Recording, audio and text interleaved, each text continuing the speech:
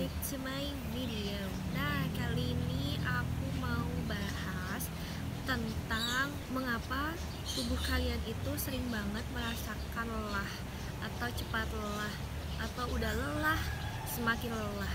Entah karena kalian itu banyak aktivitas Ataupun gak jarang sih kayak aku kayak teman-teman yang memang gak banyak aktivitasnya kayak mageran bahkan Tapi dia tuh ya cepat lelah karena gak tau kenapa kayak iya cepet capek kayak gitu loh. Padahal sebenarnya kalau aku lihat aku perhatiin mereka tuh nggak banyak gitu kerjanya. Nah kira-kira apa sih yang bisa bikin kalian itu cepat lelah? Nah itu bakal aku bahas dalam video kali ini. So jangan lupa like share and subscribe.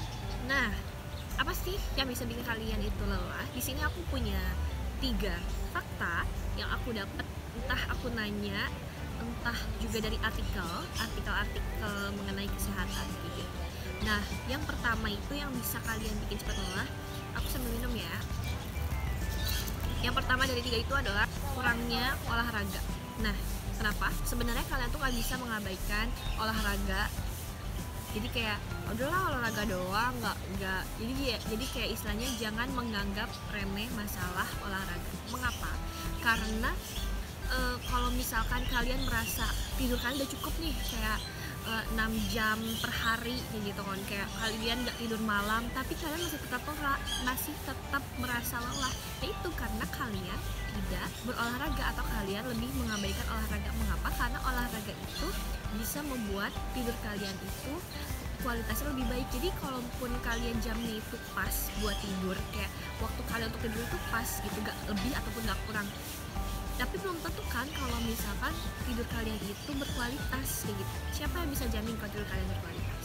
Jadi di sini olahraga itu sangat amat penting. Apalagi buat kita yang masih muda walaupun kita masih belum bisa ngerasain efek dari olahraga itu ya nanti ke depannya kita akan merasakan kayak sedikit demi sedikit karena itu kan bakal ngefek banget itu pas kita udah tua atau udah dewasa udah tua ya udah berumur. Jadi jangan anggap remeh dewa olahraga. Dan juga kalian harus memilih waktu olahraga secara tepat. Jadi jangan memilih waktu olahraga dekat dengan waktu tidur kalian.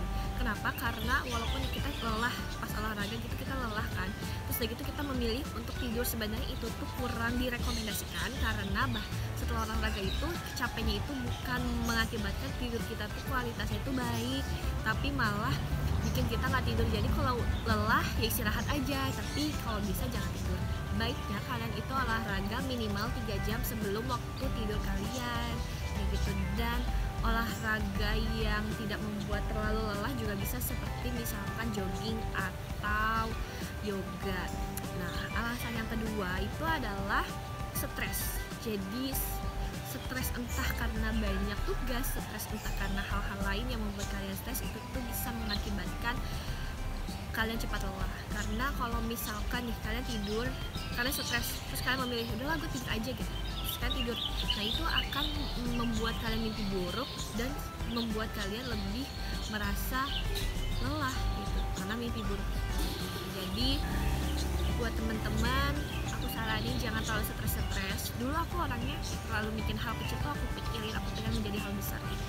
Jadi kayak kalau bisa jangan sayanglah diri kalian untuk tidak membuat stres. Let it flow. Percaya kalau kalian udah berusaha berikan semuanya kepada Allah insya Allah semuanya akan baik kayak gitu. Insya Allah Allah pasti akan memberikan yang terbaik untuk hambanya. Jadi apa yang udah kalian kerjakan apa yang udah kalian tanam itulah yang akan kalian tuai. Jadi jangan jangan berkecil hati jangan sedih jangan stres. Kalau kalian sudah melakukan banyak hal tapi hasilnya buruk jadi nggak akan sampai situ aja kok. Pasti kalian akan dapat yang lebih baik dari itu. So jangan stres ya. Biar kalian pun nggak akan cepat lelah. Kalau kalian udah stres kalian lelah makin lelah ya udah nah alasan yang ketiga yang terakhir nih apa sih yang terakhir yaitu adalah mengonsumsi air putih So buat kalian nih yang sering banget beraktivitas ataupun yang enggak, air putih itu sangat amat penting. Yang kalian nggak suka minum, mulai detik ini kalian harus suka minum air putih. Kenapa aku bilang harus suka? Karena itu bener-bener tubuh kita itu terdiri dari air yang lebih banyak sekitar 70-80% maaf aku lupa. Aku bukan ahli di bidang kesehatan sebenarnya. Jadi kayak kalian boleh pada aku salah. Pokoknya kita itu lebih banyak tubuh kita itu lebih banyak terdiri dari air. So kalau kalian kekurangan air logiknya kalian juga kekurangan dari sebagian tubuh kalian. Jadi nggak aneh kalau kalian merasa lelah dan minumlah 8 gelas setiap hari. Mungkin kalau kalian pikir 8 gelas itu berat sebenarnya enggak kok kalau kalian udah melakukan itu. Kayak nggak akan kerasa kok satu gelas satu gelas. Kan kalian nggak mesti harus minum 8 gelas berturut-turut kan? Kalian masih punya waktu selama 24 jam.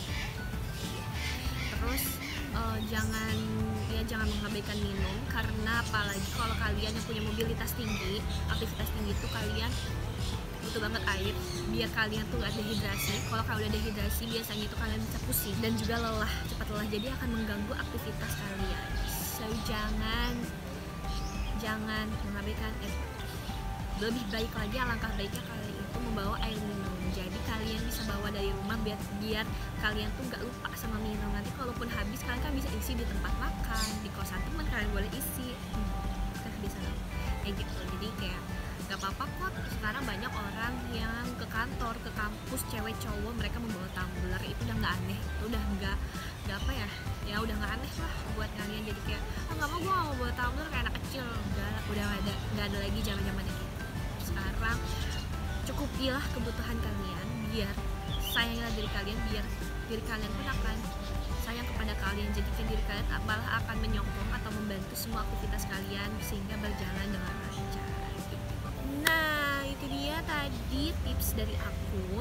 Ada tiga manfaat, ada ada tiga tips yang menyebabkan kalian bisa cepat lelah. Semoga bermanfaat. Kita sama-sama hidup sehat, biar kita tetap sehat. Uh, semuanya juga lancar. Aku berdoa juga untuk kalian. Nah, semoga bermanfaat ya dan kalau punya kritik atau saran aku sangat terbuka banget. Kalian boleh komen di bawah atau mau minta bikinin video apa kalian boleh. So jangan lupa like share subscribe. Semoga bermanfaat. Dadah. Assalamualaikum.